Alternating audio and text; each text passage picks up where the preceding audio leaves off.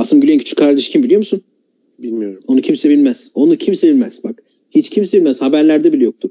İnternet bloglarında bile yoktur. En manyak komplo teorisyeninde bile yoktur. Kim? Buradaki arkadaşlar araştırsın. Ben söylemeyeceğim. Gladio belgeselini saklayacağım onu. Tamamdır. Çok enteresan bir şey olacak. Türkiye'de kimse bilmiyor bak. Çok enteresan bir şey. Hiç beklemediğim bir yer çıkacak. Şunu söyleyeyim. Herif ajan. Kasım Gülek'in kardeşi ajanlık yapıyor. Ajan Hem de derken hiç beklemeyeceğim. Ajanlık yapıyor. Bildiğin hangi aj- istihbarat servisine? Alman istihbarat servisine.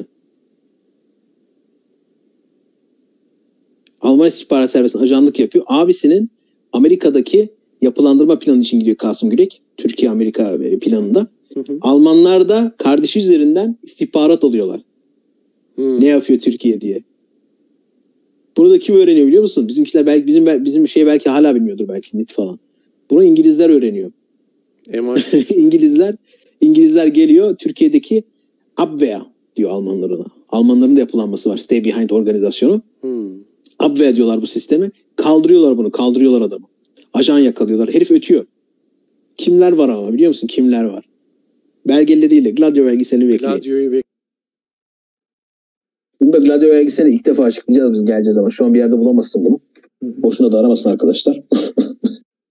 ilk biz paylaşacağız bunu. Kasım Gülek kardeşi Alman ajanıdır. Petroklerin faaliyetlerini de anlatacağız. Maden bıyıklar diye bir bölüm var Gladio belgeselinde. Hmm. Ve Bunu çok iyi şekilde anlaması gerekiyor gençlerin. Aşağı yukarı Mustafa